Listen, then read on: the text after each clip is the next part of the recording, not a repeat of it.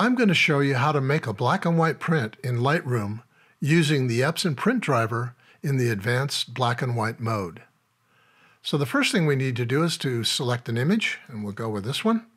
And now we're going to convert it into black and white. We'll move over to the Develop module. And under Treatment, up here, we'll just select black and white. And then I'll click on the Profile Browser right here. And this brings up all the different recipes, different ways to convert to black and white. I'm going to settle on black and white number six, double click on it. I'm going to give that a little tweak, take this up a little bit, and I'm going to give it a little more contrast. I'm going to bring the highlights down. I'm going to open up the shadows a little bit, and I'm going to open up the, take a little bit of the black out just so I can maintain some information in my shadows. And I'm going to hit the dehaze a little bit. And that looks pretty good. I think that maybe my uh, exposure should come down just a tad. That looks pretty good. All right, so this is what we're going to go for here. We're now going to move into our print module. And the first thing we're going to do here is we're going to drop down to our color management and I'm going to change the profile up to manage by printer. This is going to turn off color sync and allow us to use the proprietary black and white conversion provided by the advanced black and white module. All right, so now we're going to move over to page setup on the left-hand side of our screen. And I'm going to confirm that we have the appropriate printer and that is the SureColor P5000. And we want to make sure that the paper size is set correctly, and that's going to be 1722 sheet borders maximum. Then we want to make sure our orientation is correct, which is supposed to be landscape. So I'll say OK, and there we go. We now have the correct paper size selected, the correct orientation, correct printer, However, the image size is not correct on the paper at this point, but we'll deal with that in a minute. First, we're going to go down to our print settings, and we're going to confirm that we've got the correct printer selected, the P5000. We're going to move down from layout down to printer settings. And we're going to tell the printer where to look for the upper, and that's going to be in the manual feed, and what kind of paper to look for, and that's going to be the Legacy Baryta. Now we can go in and select Advanced Black and White Photo. I'm going to leave the color toning at neutral. Now the only thing I think I would change would be the Super Micro Weave. And that is specifically for images that have a lot of very fine detail. And it actually does give a better print. You have Super Micro Weave turned on.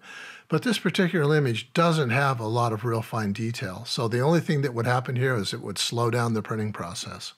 So I'm just going to turn that off. I'm going to leave high speed on.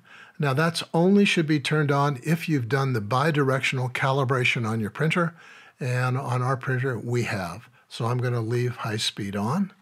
And I'm going to click up here to advanced color settings. I'm going to change the tone to dark. I'm going to give it a three horizontal and a three vertical. Now what this is going to do is it's going to add just a tiny bit of warmth to the image because normally in the advanced black and white mode, the prints come out pretty cold black and white. And so I've added just a little bit of tone to take it off of that cold and giving it a little bit of a warm feeling. All right, so that's it. We're now going to hit save. And now we're going to move over to the right-hand side here.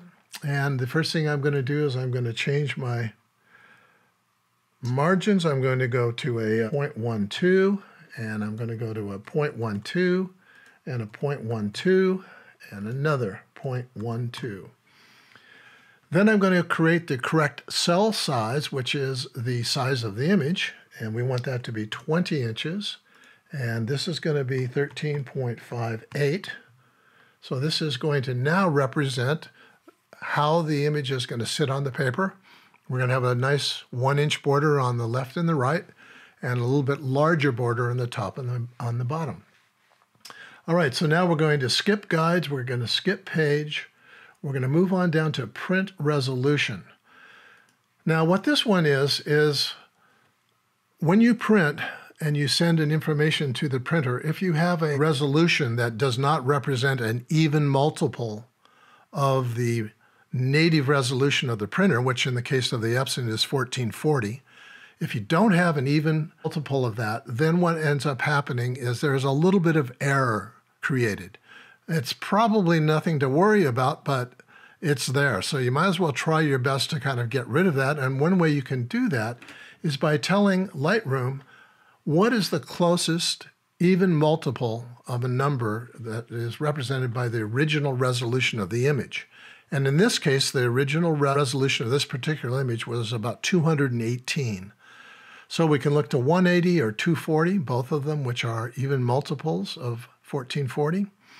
And I would say that the 240 is closer to 220. So I'm going to set this number right here to 240.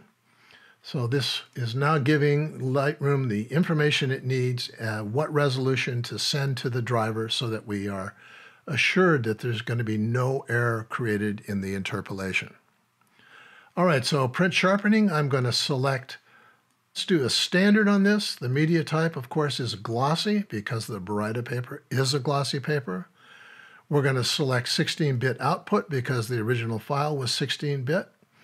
And the uh, by printer under color management is appropriate because we're not using the ICC method of printing. We're using a proprietary black and white printing method. And we'll leave print adjustments alone. We don't want to create a whole nother series of variables that we have to remember in six months. So let's just leave those blank. And now we can go down to printer, and this is going to give us the last opportunity to go in and check our settings. So I'm going to move down here to printer settings. And this is correct. Dark is correct. The 3.3 is correct. Let's move over to our basics. Manual feed is correct. Legacy Baryta is correct. Advanced black and white is right. Fine adjustment, Super 1440. Super micro weave turned off. High speed turned on. That's all correct. So all we need to do at this point is hit print. And in a few minutes, you'll have a beautiful print. So that's the advanced black and white mode utilizing the Epson print driver out of Lightroom.